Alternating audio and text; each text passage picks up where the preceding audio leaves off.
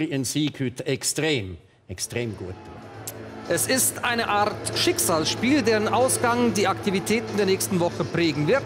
Die Aktivitäten von Freddy Bickel links und Christian Constantin rechts. Beide haben den Trainermarkt schon mal sondiert. Bei Sion besteht Handlungsbedarf, weil Gattuso nicht die nötigen Diplome hat. Und bei Ibe könnte der Trainer auch zum Thema werden. Dann nämlich, wenn Ibe jetzt plötzlich auch Heimschwäche offenbart. Ibe übrigens hatte Geburtstag in dieser Woche.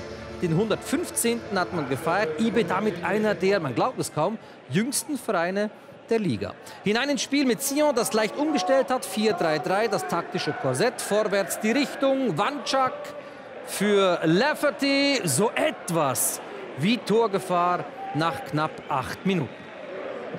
Es ist ein Spiel der wenigen Höhepunkte in der ersten Halbzeit. Sion mit mehr Ballanteil, aber nicht wirklich kreativen Ideen. Das ist Cheng, Marco Wölfli, ein tückischer Aufsetzer. Der Boden ist holprig, die Ballkontrolle schwierig und auch für Golis ist das nicht einfach. Martin Rueda, ihm fehlen die Leitwölfe, die Rockstars im Team. Hinten verrichtet Ibe bodenständige Arbeit, das passt. Aber nach vorne ist das Berner Spiel so aufregend wie Großmutters Stützstrümpfe. Raimondi, Nuzzo, ja no. Es war das Gefährlichste, was Ibe offensiv über weite Strecken zustande brachte. Es ist ja nicht so, dass da gar keine Ansätze waren. Immer wieder fängt Ibe Walliser Angriffe ab, aber immer wieder ergeben sich Möglichkeiten zum Kontern. Und die Konter von Ibe, die sehen dann so aus. Das ist lang. Nuzzolo, viel Platz. Drei gegen drei. Welche Ausgangslage? Nuzzolo. Und dann dieses Pässchen. Selbstredend. Weder aus dem Spiel heraus noch bei Standards versprüht Ibe auch nur den Hauch von Torgefahr. Dass Sions Interimscoach Luigi Riccio nicht Mitleid zeigt, liegt daran, dass Sion Punktoiden auch nicht wirklich kreativ ist. Bis kurz vor der Pause. Das ist Außenverteidiger Lacroix. Verwirrung im Berner Strafraum. Wölfli klärt 0 zu 0 zur Pause. Es hätte gerade so auch umgekehrt heißen können. Zweite Halbzeit. Sion versucht etwas zuzulegen. Das ist Jeng. Der schüttelt zunächst Neff ab, dann auch Sverotic. Lafferty. Die berühmte und viel zitierte Fußspitze zu spät. Es war auch eine Art Weckruf für Ibe. Die Berner nun etwas aggressiver. Das ist Schneuli gegen Bühler.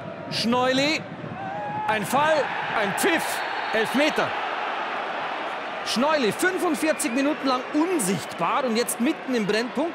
Genauso wie Bühler, der sich ungeschickt anstellt. Im Stile eines kanadischen Holzfällers malträtiert Bühler die Beine seines Kontrahenten. Elfmeter, Farneröd läuft an und Vanins hält. Wieder verschießt Ibe einen Elfmeter, schon den dritten in dieser Saison. Von wegen Trainerdiskussion. Die Probleme bei Ibe, die liegen ganz woanders. Immerhin, Ibe bleibt dran. Das ist Gott Sutter. Einfach mal draufhauen. Wannins streicht den Ball noch so eben über die Latte. 66. Minute. Wir springen in die 80. Minute. Irgendwie hat man sich früh mit dem 0 zu 0 abgefunden, so scheint es. Das ist Jeng und wieder Wölfli. Also der hat noch nicht Feierabend. Marco Wölfli, klasse, wie er den Ball dann noch um den Pfosten dreht. Tja, und dann läuft schon die Nachspielzeit. Ibe nochmal am Drücker. Die letzten Reserven, die werden angezapft. Das ist Raimondi. Afum übrigens mittlerweile im Spiel und er kommt auch an den Ball. Hier, Afum. Afum mit links. Nein.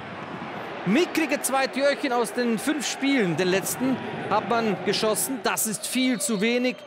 Dann hat auch Christian Constantin genug gelitten. Schiedsrichter Amov pfeift ab. 0 zu 0 in einem enttäuschenden Spiel. Sion hat oder hält im Kampf um die Europacup-Plätze Ibe auf Distanz. Das war der erste Punkt unter Gattuso. Und was für Ibe die nächsten Wochen bringen, das wird sich nach dieser Nullnummer zeigen. Ja gut.